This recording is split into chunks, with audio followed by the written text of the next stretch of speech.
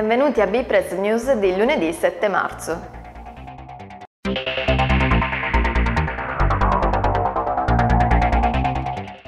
Per il Popolo delle Libertà il candidato sindaco sono io. L'annuncio è arrivato dalla coordinatrice del PDL di Barletta, Maria Grazia Vitobello.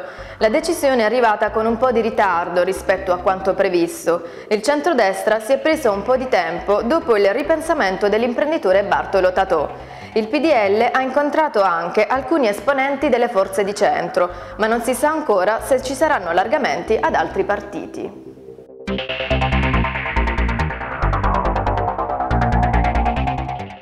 Nel giro di pochi mesi è stato scoperto il terzo deposito di auto rubate sulla Murgia. In località Masseria Pietro Gianni, tra Corato e Andria, le guardie per l'ambiente hanno ritrovato tre automobili.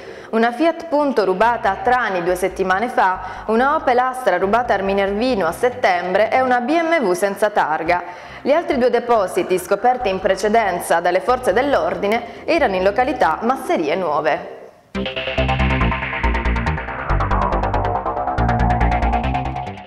La bottega del caffè, una fra le commedie più riuscite di Carlo Goldoni, è in scena mercoledì 9 marzo alle ore 21 al Teatro Impero di Trani, rappresentata dalla compagnia del Teatro Carcano. Ambientata nella Venezia settecentesca durante il Carnevale, la commedia narra la storia di Don Marzio, nobile napoletano, che seduto al tavolino del caffettiere Ridolfo spia i passanti insinuandosi nelle loro vite. Metafora di un agire umano spinto all'invidia e alla brama di denaro, la bottega del caffè riflette sull'etica e sulla morale comune.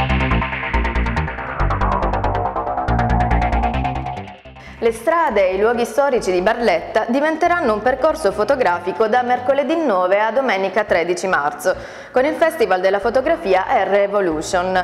Organizzato dal Fondo Internazionale Orvieto Fotografia, la manifestazione coinvolge la creatività italiana d'eccellenza, con mostre ed eventi all'insegna dei nuovi talenti. I fotografi esporranno in 80 mostre le loro opere, raccontando la loro visione personale del mondo in scatti. La Manzoni Sport Pallavolo Andria perde a Modugno, ma recrimina molto per un terzo set lasciato per strada, non proprio per demeriti propri.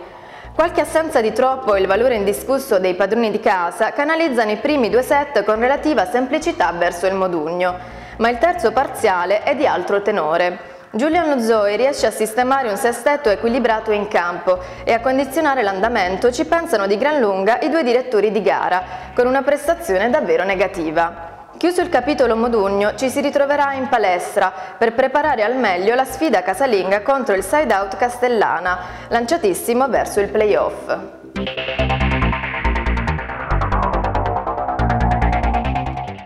Una gara difficile per la Cardo Volley Barletta che sul terreno di gioco della Gea Tecno Gioia del Colle perde per 3-0 e resta in nona posizione a quota 19 punti in piena zona play-out. La crisi di risultati che attanaglia la formazione barlettana non sembra trovare una soluzione e sabato prossimo al Pala Marchisella di Barletta vi sarà uno scontro diretto per la salvezza. A sfidare la Cardo Volley saranno le giovanissime del progetto Aspav Florence, ferme anch'esse a quota 19, ed in lotta per un posto fuori dalla caldissima zona della graduatoria. Con questa notizia è tutto, arrivederci a domani.